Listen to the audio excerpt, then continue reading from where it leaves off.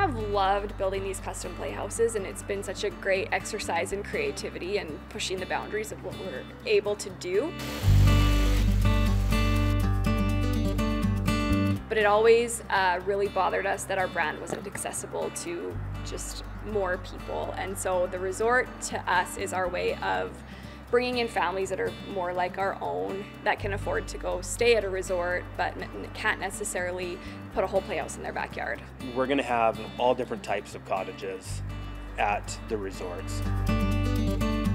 Whether it's a treehouse or a storybook home or Rapunzel's tower or a halfling house or castles, right? We're going to have a real nice mix in the resort so that when families come, they can find the one that's perfect for them a lot of people are getting into glamping. Let's create a resort where we could create these storylines and our cottages based on these storylines where people can bring their families, come experience it, have a vacation close to home.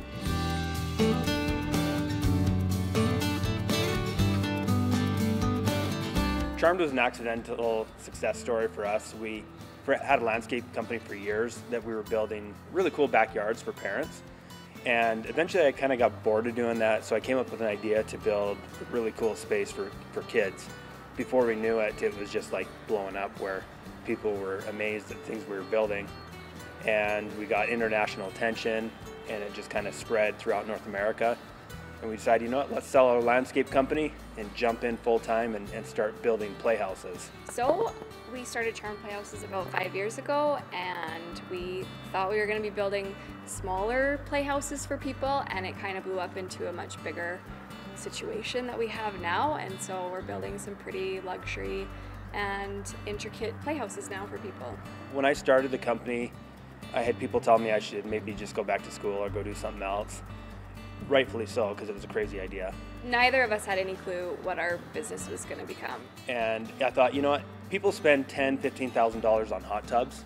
Surely they'll go buy a playhouse for their backyard.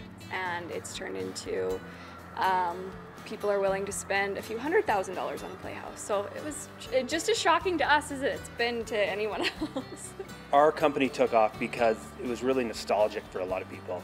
We all grew up making cardboard houses or playhouses out in the trees or tree houses, right?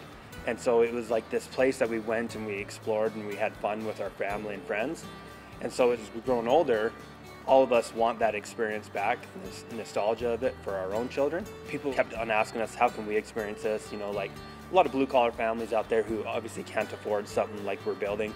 I mean, we, we grew up in a blue collar family, so we understand that. And we wanted to be able to do something that we could allow all families to be able to experience the magic of what we built. We're going to keep the first one in Southern Alberta so that it's right underneath us so we can manage it and, and make sure that we perfect it and then we want to roll it all throughout North America. We see these these playhouses being all over the place and we see uh, lots of families being able to come and stay in this little magical kingdom that we are so excited to create.